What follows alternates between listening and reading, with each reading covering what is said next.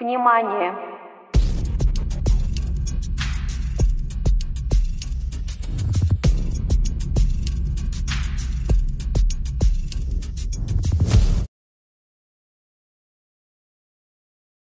Оу, а на улице-то, а на улице-то дубак. Э, И пока еще вставать пол шестого тяжеловато. Время 6, на улице прям говно. Очень, э, очень, очень, очень, очень плохая погода. Э, Там уже кашка почти готова. Очень холодно, просыпался ночью от того, что действительно очень дубачно. И мухи. Ебаные мухи.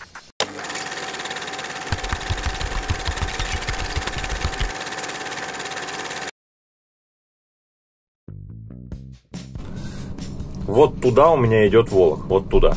Как думаете, почему я стою вот сюда? Потому что лесу пою, как я хочу его пилить. И, как обычно, на целый, на, на, на полноценный один волок не хватает расстояния. Ну, то есть вылета, естественно, не хватает. И появляются вот такие вот островки, которые я сейчас пытаюсь выходить. Что я обычно делаю?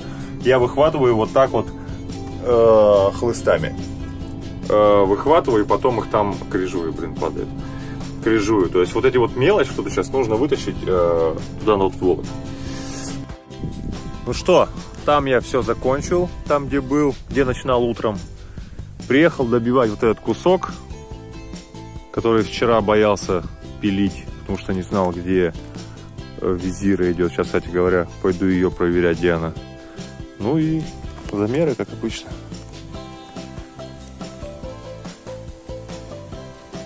Шесть одиннадцать.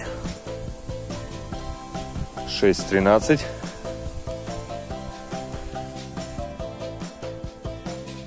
Шесть тринадцать.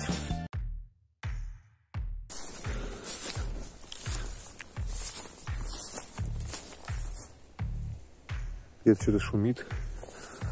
Вот такие у нас здесь пустыри. Вот там висит.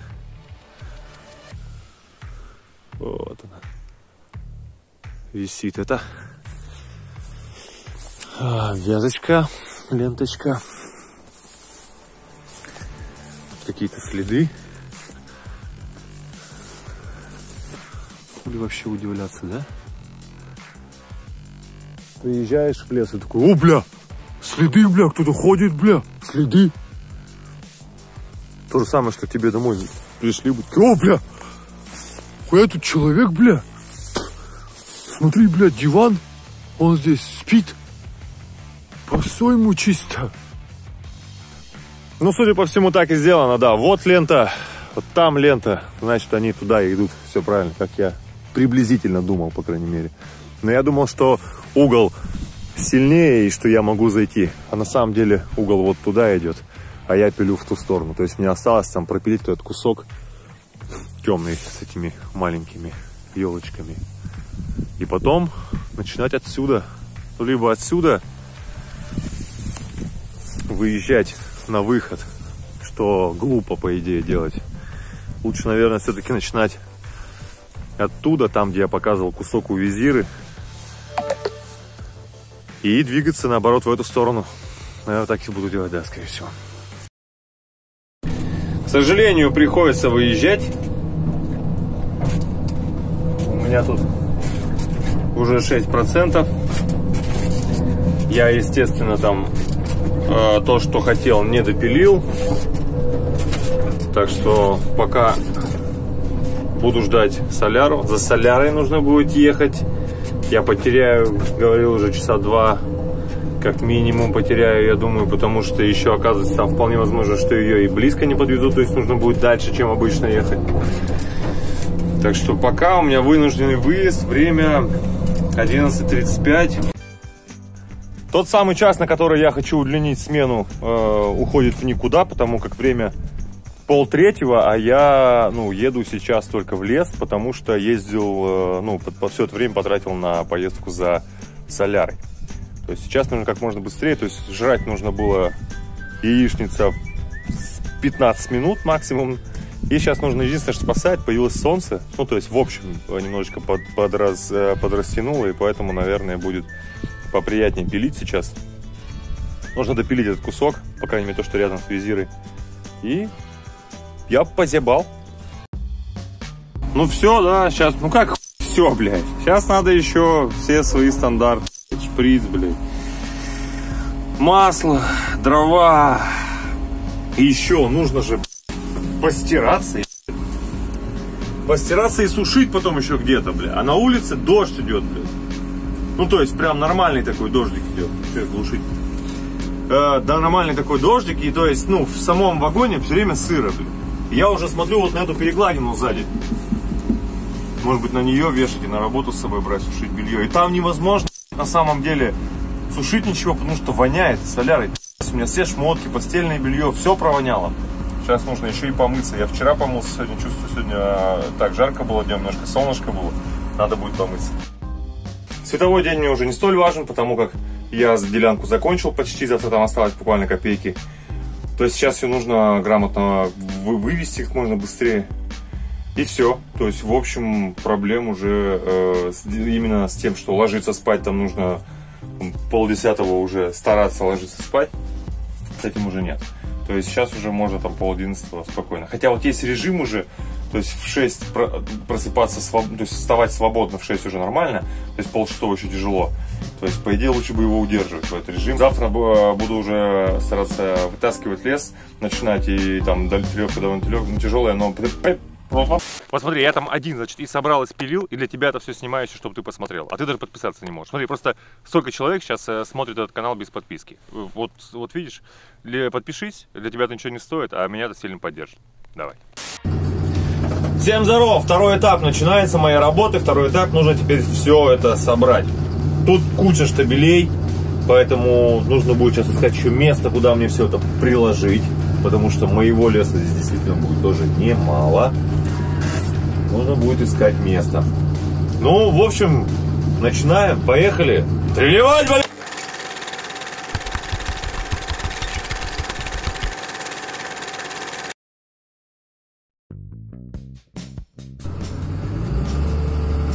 Пришлось сделать, немножечко изменить заезд делянку, то есть пропилить еще один. Блять, ну как, вот я даже показать не могу, как мне вот с этим всем работать. Здесь уже все разбито в очень глубокие колеи. В этой стороне вот здесь таскали ребята. Я, я пробил здесь еще один, здесь было чуть побольше растительности под себя сложить, чтобы... То есть я здесь пробил сейчас, и выход будет немножечко получше. А вот мое максимальное расстояние трелевки. Ну, будет, наверное, там вот еще есть э, лес, будет, наверное, 620, как-то так. Начинаем, и получается, что будет, да, 620 это максимально, где-то, наверное, будет, ну, в среднем будет, наверное, метров 500-600. Это самый длинный волок, он с таким большим поворотом, а тот самый уголок, который я допиливал за Федей. Вот, то есть я сюда заезжал очень далеко. Посмотрим, леса лежит, сейчас проезжал, так прям, ну, уже с точки зрения фарвардера смотрю, так потом леса, да, хуе. Ко всему этому длинному расстоянию добавляется еще и то, что постоянно идет дождь и очень сильно все раз, ну, размыло, и он идет прям очень тяжело. Сейчас вот замеряем. 9.58, прямо сейчас я выезжаю за, за телегой. Сейчас замеряем, сколько уходит у меня времени на одну телегу. 10.05, я на месте, сейчас начинаю загружаться. Вот я подъехал на месте, начинаю, сейчас вот у меня меченый лежит, а, начинаю загружаться. 10, 10, 15, 10, 15 и вот загружено. Но грузился пилотчик, поэтому, в общем-то, быстро. Заебался, разгружаемся. В итоге перегрузился и 10.33, а я только перегрузился. Так что эту фотку, наверное, считать э, некорректно будет ее засчитать. Попробуем не застрять в следующий раз. 10.39. Разгружаемся. Чтобы э, действительно объективно замерить, сколько уходит на одну на одну, ну сколько времени уходит на одну телегу, нужно на самом деле все вообще условия соблюсти, нужно все, а, еще и, грубо говоря, все изменения предусмотреть, потому что пока я разгружался, я уже вот сейчас следующий за одной телегой съездил, пока я разгружался, мне позвонил мой друг, и то есть я не смог потом записать еще видео, когда я загрузился, там было 47 минут, когда я загрузился, сейчас уже 11.20, я еду с очередной телегой, выехал, и, грубо говоря, нужно будет, вот чтобы прям чисто, нужно будет сейчас вот, наверное, сейчас давайте попробуем на следующий тогда. Хотя я не знаю, вот, ну, может что-то опять произойдет, я фиг его знаю. Замерил одну телегу, 10, ой, в 11.33 я выехал, и в 12.13 я закончил только что разгружаться. То есть 40 минут все равно будет уходить. Тут как бы такой фактор, то есть получается я гружусь пиловочником, поэтому это быстро, да?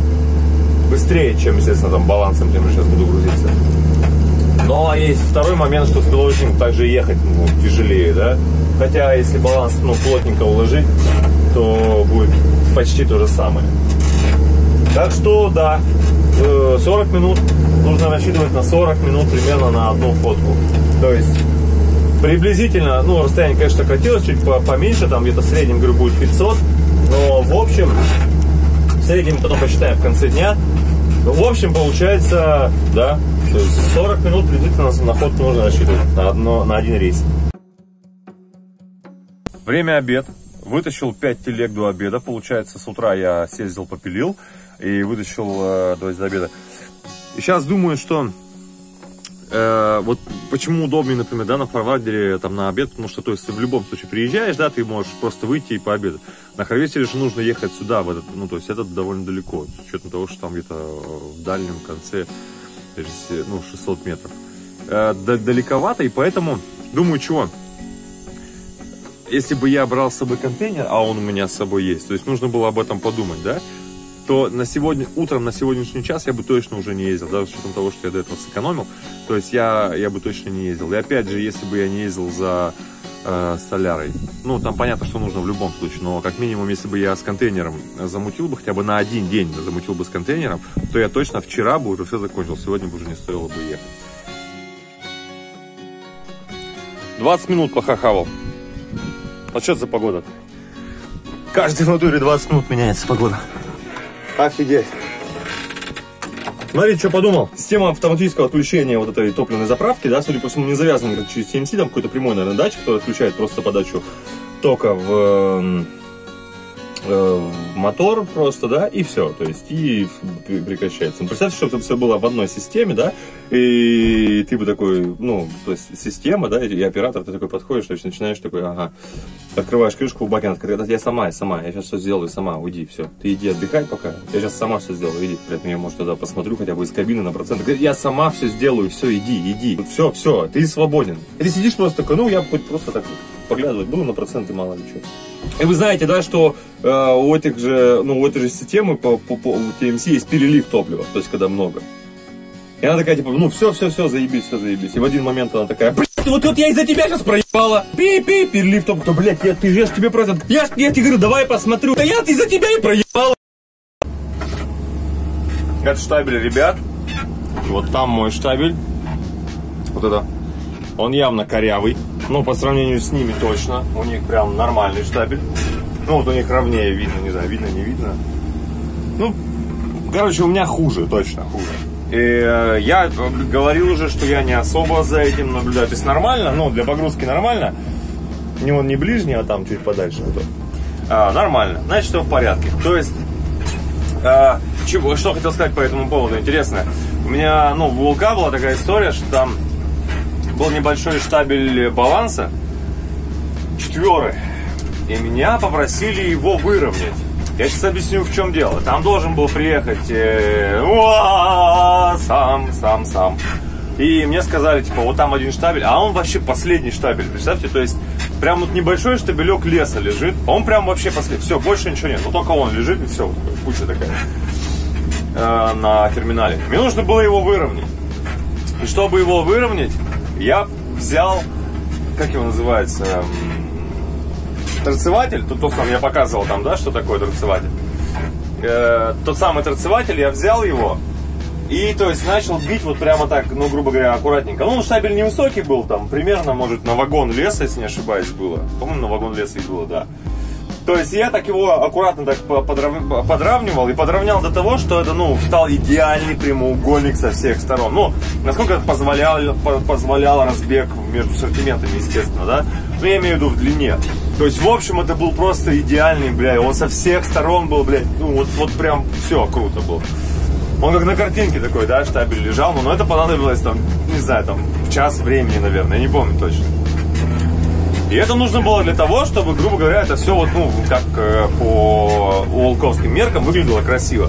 Но дело это в том, что через там, может быть, пару часов, по-моему, еще до прилета э, самого... Э, короче, мне сказали, Лех, иди загружай его в вагон нам. То есть я там ебался, его там что-то выравнивал ну, блядь, час вот как раз, наверное, времени. Я что-то выравнивал его, делал его идеальным. Я ему сказал, блядь, Леха, короче, иди загружай его на вагон, типа, все, можно грузить его. И как бы, бля, вообще не понятно, нахуя я вот это вот делал. А что это у нас тут такое? А что это? А что это, а? Гусянка, что ли, ебнула? Вот так еще ебнула-то. С места происшествия сам Алексей скажет действия по узгонению, а я пойду газведусь, так как недовольна своим мужем. Он тупой пиздец. Рубрика «Извлекаем пользу из волка». Опачки. Нихуя мне не убрать трак. Ну, тот я убрал. Ставлю другой. Почему? Потому что расстояние большое. Порвал цепь. Сегодня мой день рождения. Я не первый уже год ну, не подряд, конечно, но просто не первый год, ну, не один раз точно уже встречался в день рождения в лесу. Но в этот раз вообще прям один. Еще интереснее опыт.